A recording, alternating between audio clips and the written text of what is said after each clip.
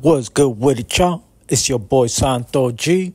Real quick, I know a lot of people have been touching on this subject, but I did you guys one better. Instead of the reaction, I got the actual video of where it all came from, where this subject stemmed from, and what was actually said.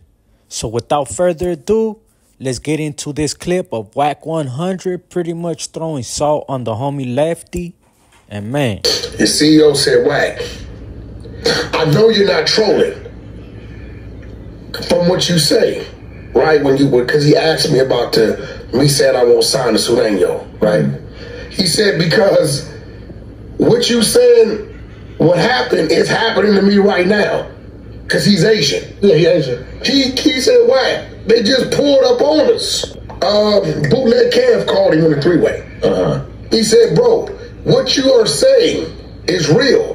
We're going through it right now. What? Yeah, I mean, anybody that did time, that understand our culture, know that when you're dealing with that movement, Right. that tribe, they're disciplined, they move different, right? And if I was to have a Sureño sign to me, right, and he blows up some Kendrick Lamar shit, Right. right? You're spoken on this.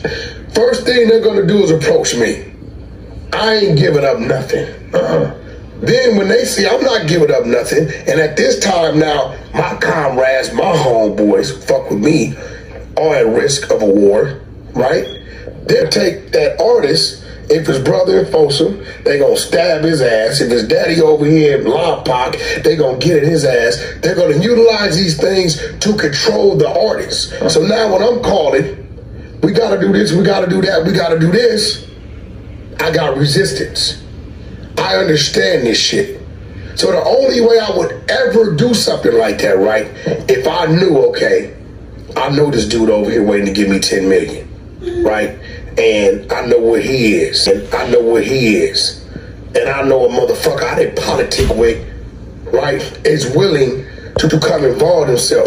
Because all these essays, even though they're Sureños, everybody don't fit everybody.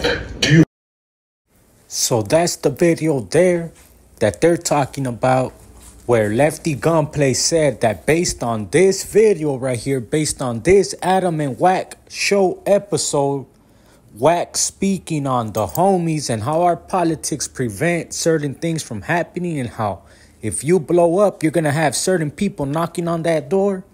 I think he was out of line, he was out of pocket.